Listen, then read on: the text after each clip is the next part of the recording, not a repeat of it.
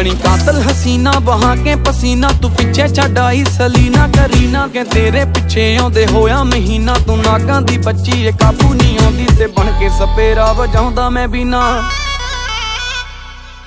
ਕਿਹੜੇ ਖੇਤ ਵਿੱਚ ਲੱਗੀ, ਕਿਹੜੀ ਕਣਕ ਦਾ ਨੀ ਤੂੰ ਆਟਾ ਛਕਦੀ ਐ। Tight tight shot loose loose